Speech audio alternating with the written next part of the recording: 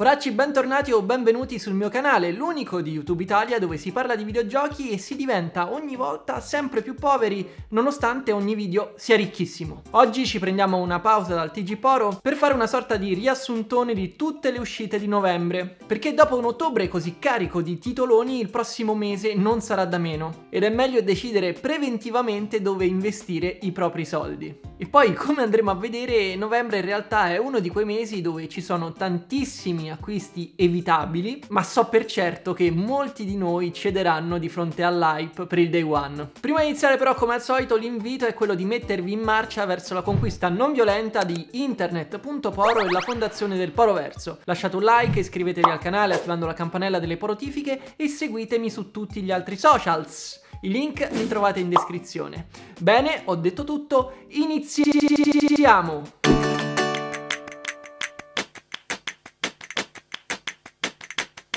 Prima di partire specifico ovviamente che ho fatto una selezione dei titoli che ritenevo più interessanti, non sono necessariamente tutti quanti dei must buy, ma più che altro dei giochi che possono esercitare il loro fascino. Ad esempio, partiamo con Eterna Noctis il 4 novembre. Si tratta di un titolo di nicchia, un indie a cura di uno studio spagnolo che ha tentato di dare vita al Metroidvania più difficile di sempre. Il gioco uscirà su Switch, ma in realtà è disponibile su PC da quasi un anno e le recensioni sono tutte positive e parlano di un gioco impegnativo, a tratti frustrante, soprattutto nelle fasi di combattimento, ma che di sicuro gli appassionati del genere sapranno apprezzare nonostante nonostante i suoi evidenti limiti. Non so, a me ispira parecchio e il prezzo e budget ma si potrebbe fare di meglio. Rimaniamo ancorati al 4 novembre del turno di altri due titoli per Nintendo Switch.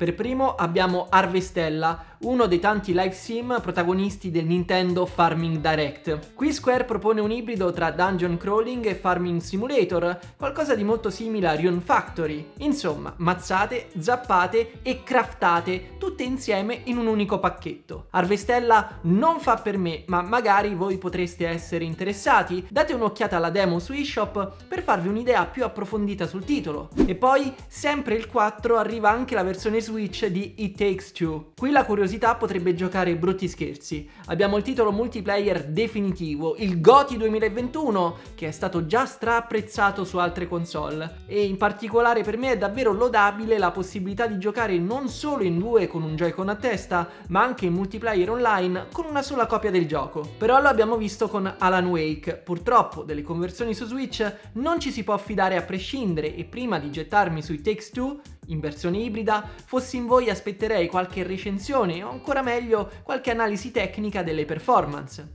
Non esistono porting impossibili, ma non per i giochi di calcio, almeno così sembra. Anche la famosa serie di gestionali calcistici Football Manager arriva su console ibrida in una versione light chiamata Touch, pensata per alleggerire un po' il gioco e adattarlo ai device portatili. In realtà, nonostante qualche problema di interfaccia, gli episodi passati hanno riscontrato il favore della critica e l'edizione 2023 potrebbe rappresentare un bel passo in avanti per tutta la serie. Football Manager 2023 Touch esce l'8 novembre, ma purtroppo questa uscita sarà oscurata dall'arrivo il giorno seguente di Sonic Frontiers che a sua volta sarà oscurato dall'arrivo il giorno seguente. Vabbè, andiamo con ordine. Ma insomma, questo Frontiers fa schifo o no? Dalla campagna marketing non ci si è capito niente, l'impatto iniziale col titolo è stato tremendo, eppure, piano piano, demo dopo demo, la critica si è in parte ricreduta sul nuovo Sonic in tre dimensioni e ora non è così raro leggere pareri moderatamente entusiasti nei confronti del titolo. Però qui abbiamo un bel dilemma, quello del prezzo pieno. Anche se il pre-order è in sconto su Amazon da un bel po', chi se la sente di spendere 50 euro su un titolo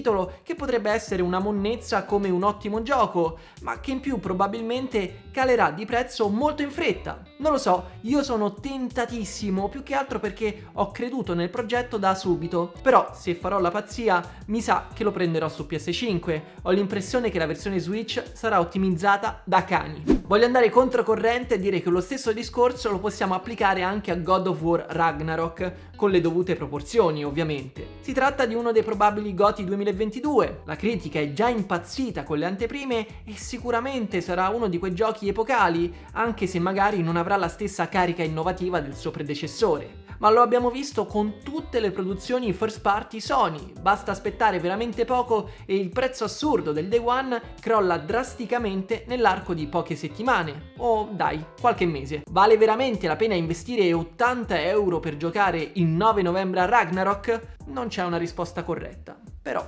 sono domande che vanno poste. Siamo arrivati a un terzo del mese e molto probabilmente il budget di tanti di noi si sarà già esaurito, ma purtroppo o per fortuna le uscite di novembre non si esauriscono con Ragnarok. Ne abbiamo parlato nel TG Poro di qualche giorno fa, ma Tactics Ogre è uno di quei ritorni storici che non dovrebbe essere sottovalutato, ma che purtroppo, proprio per la sua infelice collocazione, passerà in sordina. L'11 novembre potrete scegliere la vostra piattaforma di riferimento tra PC, PlayStation e Switch per rivivere questo grande classico dell'era PS1 e PSP in una versione ottimizzata a dovere per rendere presentazione e gameplay al passo con i tempi. Ora vi lancio una vera chicchetta. Pentiment di Obsidian. Questo è sicuramente un progetto minore dello studio specializzato in RPG, ma uno stile del genere non l'avevo mai visto, soprattutto se applicato a giochi di ruolo di stampo narrativo. Questo murder mystery ambientato nell'Europa del XVI secolo è una bella scommessa, sì, ma per fortuna, grazie al Game Pass,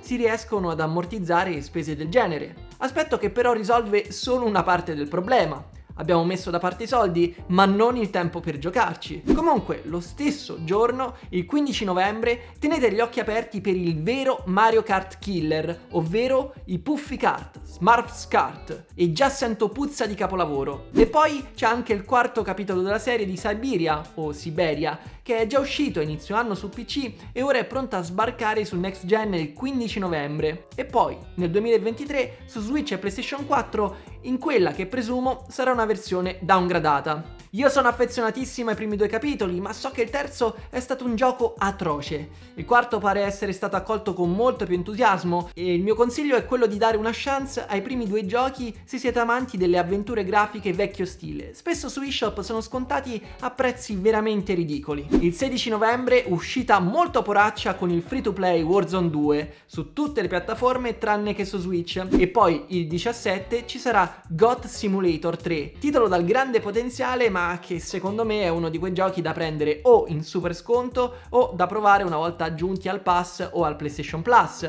Però vogliamo parlare della genialata di passare dal primo episodio direttamente al terzo? Che roba! E chiudiamo con l'acquisto più sbagliato di tutti, Pokémon Scarlatto e Pokémon Violetto. Se con Spada e Scudo potevamo dare il beneficio del dubbio a Game Freak e con Arceus c'era una sensazione di novità che faceva passare sopra tutti gli evidenti difetti, mi rimane proprio difficile essere emozionato o anche incuriosito abbastanza da prendere seriamente in considerazione l'acquisto del nuovo gioco Pokémon. Non so a voi, ma a me le preview mi hanno detto veramente poco e anzi mi sembra che siano stati fatti dei passi indietro rispetto a leggende Pokémon Arceus. Ma poi tanto lo sappiamo come va a finire. Arriva il 18 novembre e ci caschiamo tutti quanti. Una storia che ormai si ripete da anni. Voi poracci farete la follia acquistando Pokémon al day one? Ah, e poi velocissimamente un consiglio bonus, un'altra scommessa non da poco ma quanto sembra ignorante Evil West. Dopo l'esperienza maturata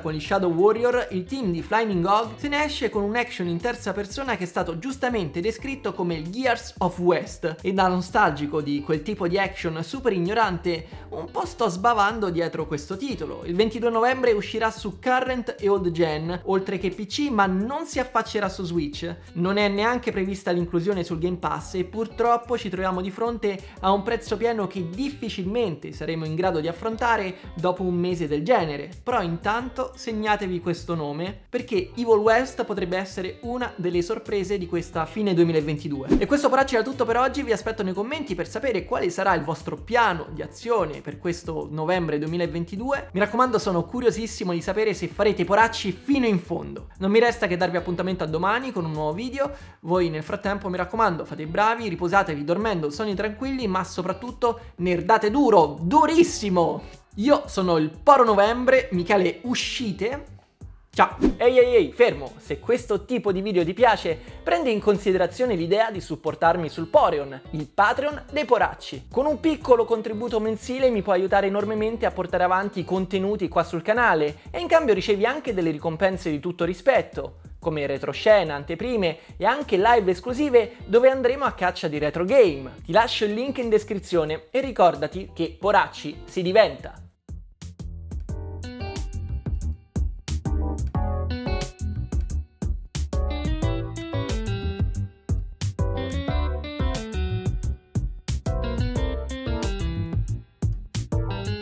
possono esercitare il loro fascino. Super sex, sex, sex, sex, sex, sex, sex.